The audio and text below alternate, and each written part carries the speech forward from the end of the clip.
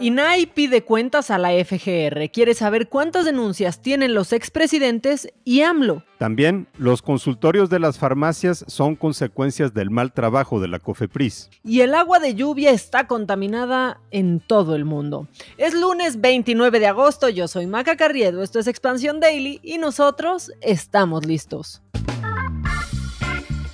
Esto es Expansión Daily, lo que hay que saber. Un podcast de Grupo Expansión con Maca Carriedo y Javier Garza. Expansión, Expansión Daily. Lo que hay que saber. Javier Garza, qué bueno que es lunes porque sinceramente ya te extrañaba. Maca, buen día. Así es, los lunes siempre nos da oportunidad para volver a, escucharnos y sobre todo para volver a conectar con la audiencia. Así que nos arrancamos con mucha información, pero antes, ¿te acuerdas que traíamos este llamado a la gente que nos escucha para que se tomara su selfie con los anuncios del Daily que están ahí en la calle? Sí, me acuerdo. Entonces ya les vamos a decir exactamente para qué queremos que nos manden sus fotos. Es para concursar por 10 pases para el Expansión Summit esta conferencia anual que hace Grupo Expansión con una serie de eh, ponentes eh, de distintos ámbitos, la economía, la política, la sociedad, el entretenimiento. Eh, uno de los headliners es el economista Nuriel Rubini, quien es considerado pues como uno de los pronosticadores más certeros y sobre todo más catastróficos que hay en el análisis económico actualmente. Así que la dinámica la vamos a manejar en Instagram. Maca, tú le entiendes mejor a eso. Pues sí, solamente si ven una foto del Daily, que sinceramente no es difícil, si la ven ahí por las calles, pues suban una foto a sus historias arrobando expansión.daily, que es el Instagram de este podcast, y listo, estarán mucho más cerca de ir al Expansión Summit. Y ahora sí, ¿te parece que arranquemos con la información, Javi? Vámonos porque hay bastante es que el Instituto Nacional de Transparencia, Acceso a la Información y Protección de Datos Personales instruyó a la Fiscalía General de la República informar sobre el número de carpetas de investigación y denuncias que hay en contra de los expresidentes Vicente Fox, Felipe Calderón, Enrique Peña Nieto y el actual mandatario Andrés Manuel López Obrador. Esta información fue solicitada por un ciudadano. Sin embargo, la Fiscalía respondió que no podía entregarle la información porque estaba clasificada. Ya no, ya no entiende uno si este es un instituto de transparencia o más bien de opacidad. Según el comisionado del INAI, Francisco Javier Acuña, eh, la respuesta de la Fiscalía apuntaba a que había que velar por el buen nombre, el derecho al honor y la presunción de inocencia de los posibles involucrados en esta solicitud.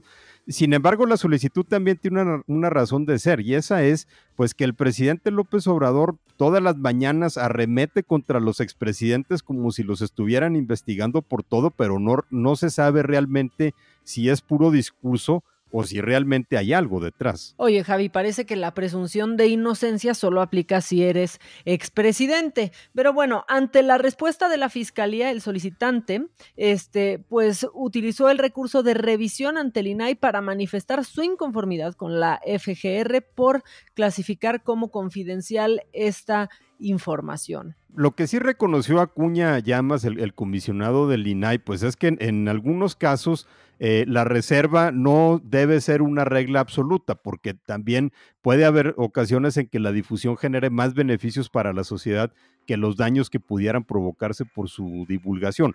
Eh, por lo menos eh, el saber si existen estas denuncias o por qué existirían estas denuncias, pues serviría para ver si López Obrador no blofea con su discurso diario contra Calderón y Fox y los gobiernos anteriores, eh, aunque también por otra parte, pues saber que hay investigaciones abiertas no necesariamente sirve de mucho si éstas no avanzan y no concluyen después en acusaciones formales o en exoneraciones. Tras una prueba del INAI de interés público, pues se advirtió que la información solicitada contribuye a que los gobernados tengan pleno conocimiento de las investigaciones que en su caso se siguen contra ex servidores públicos y el actual presidente. El pleno del INAI resolvió modificar la respuesta de la Fiscalía y le ordenó proporcionar ya la cantidad de denuncias presentadas y carpetas de investigación que se han abierto contra los expresidentes y el actual. El problema es que el INAI no necesariamente tiene dientes, ¿no? Para, para poder obligar a la fiscalía a hacer esto. La fiscalía simplemente puede sentarse sobre los expedientes e inventar cualquier pretexto y a final de cuentas no tendría ninguna consecuencia. Creo que eso es lo que va a suceder. Eh, por cierto, hablando de la fiscalía, Maca, la fiscalía tampoco había querido entregarle al Instituto Nacional Electoral toda la carpeta de investigación sobre Pío López Obrador, el hermano del presidente, y toda esta investigación eh, en la que recibe dinero que su supuestamente era para la campaña de su hermano. Bueno, pues ya fue Pío al INE y le entregó la carpeta que la fiscalía no quería que se conociera.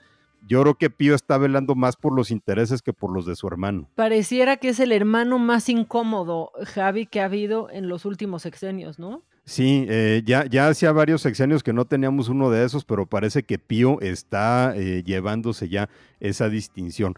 Y bueno, eh, Maca, vámonos a Coahuila, vámonos a la mina de carbón en Coahuila, eh, en donde sigue saliendo información sobre el rescate de los 10 trabajadores atrapados que este miércoles van a cumplir cuatro semanas ya atrapados en el subsuelo de Sabinas, porque familiares de los mineros exigieron al presidente López Obrador que no le vaya a encargar los trabajos de rescate a la Comisión Federal de Electricidad porque dijeron que la CFE no tiene experiencia en el rescate minero. Esto a raíz de la presentación de un plan por parte del gobierno para abrir un tajo eh, y tratar de llegar eh, a través de esa excavación a donde estarían los cuerpos de los mineros.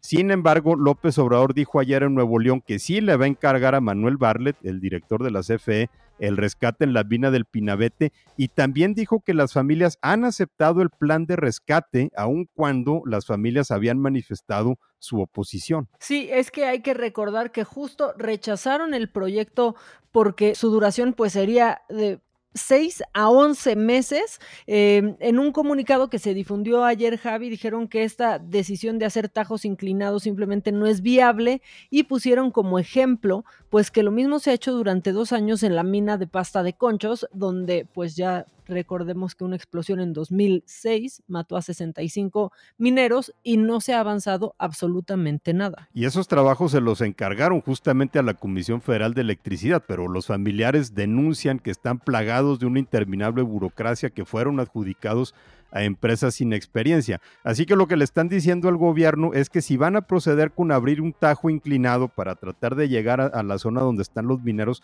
no pueden bajar los rescatistas porque la zona sigue inundada, eh, pues que si lo van a hacer de esa forma, que se encargue a empresas y a trabajadores de la región que ya tienen experiencia y que han realizado la recuperación de 153 cuerpos de mineros que han muerto en los últimos 15 años. Y esto pues le va a poner más tensión ¿no? A, la relación que hay ahorita entre los familiares de los mineros y el gobierno federal. Y esta semana así va a ser, porque justo el miércoles, Javi, pues los mineros cumplen un mes, cuatro semanas atrapados en esta mina del Pinabete.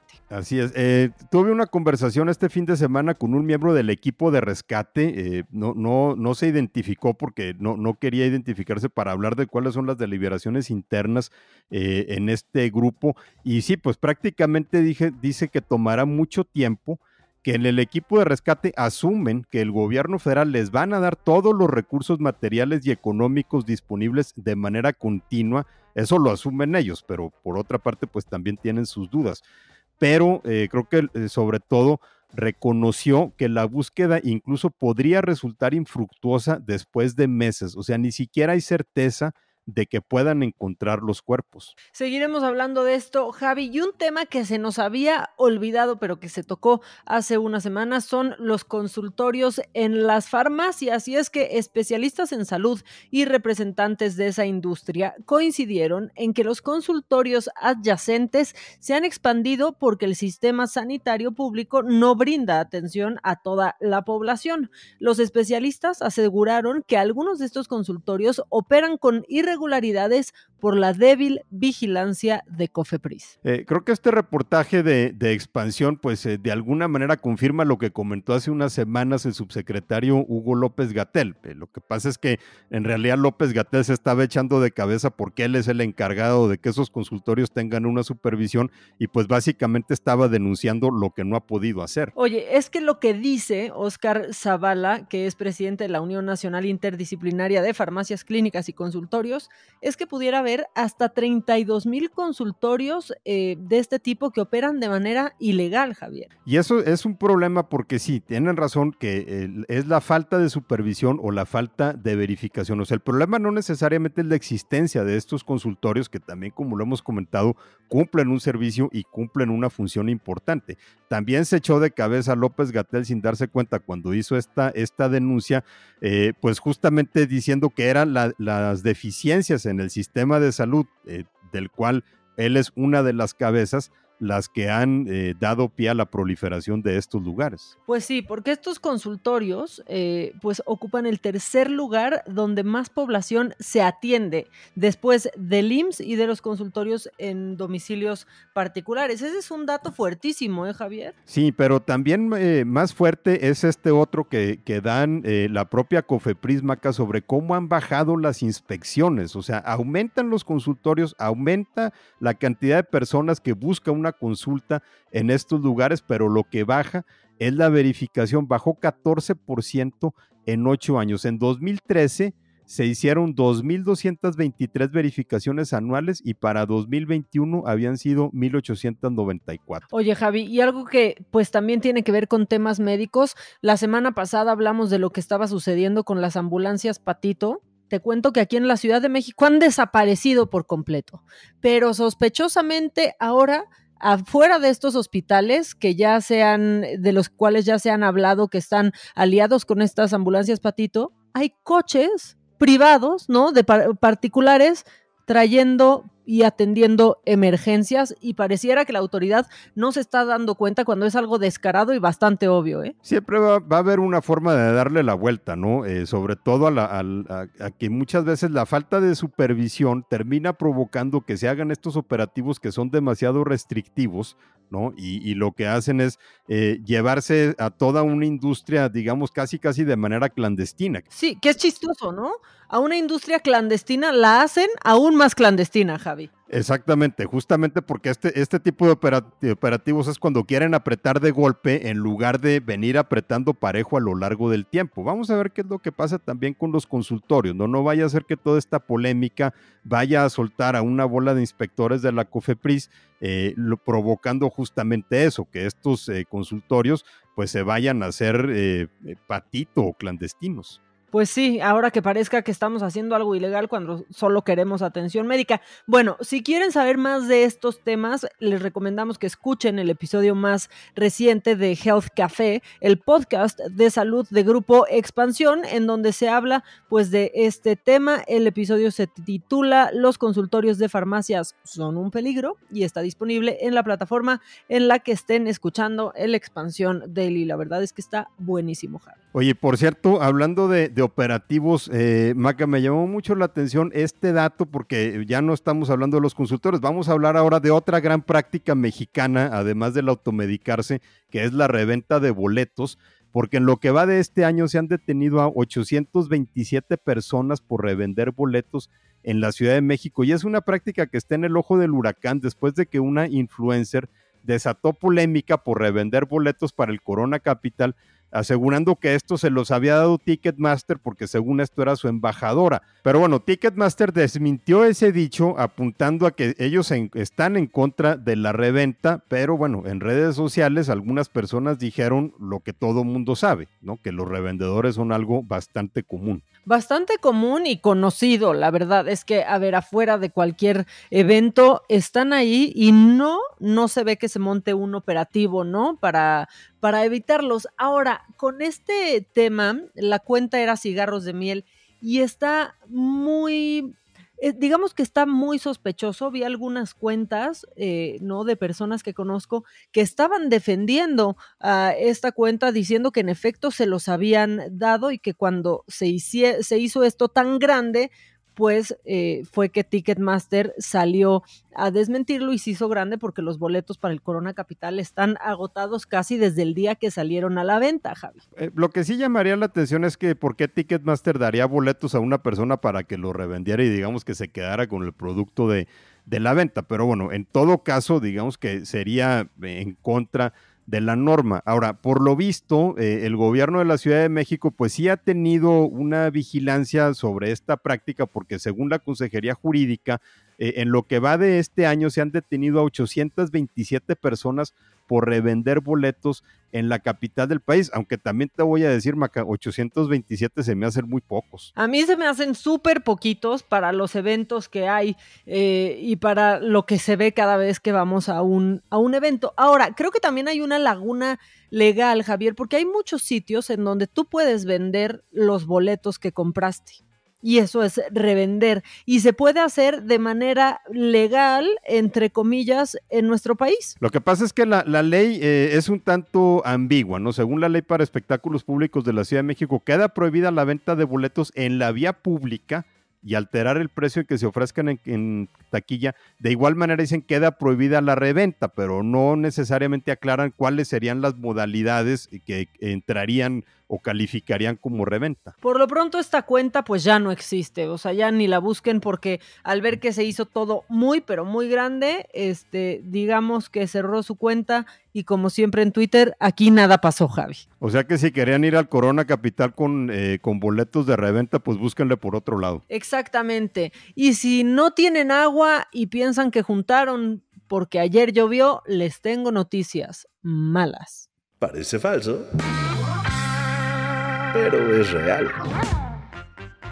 Y es que el agua de lluvia ya no es potable en ningún lugar de la Tierra debido a la presencia de agentes químicos producidos por emisiones industriales que se sueltan a la atmósfera. Esto lo concluyeron investigadores de la Universidad de Estocolmo y de Zúrich quienes pues revisaron los nuevos límites de seguridad para estas sustancias y pues no, ya, ya ni poner la cubetita en el patio, Javi. No, al contrario, ahora resulta que hasta te puede, te puede salir peor. Eh, estas sustancias que señala el estudio son conocidas como perfluoroalquiladas y polifluoroalquiladas o PFAS por sus siglas.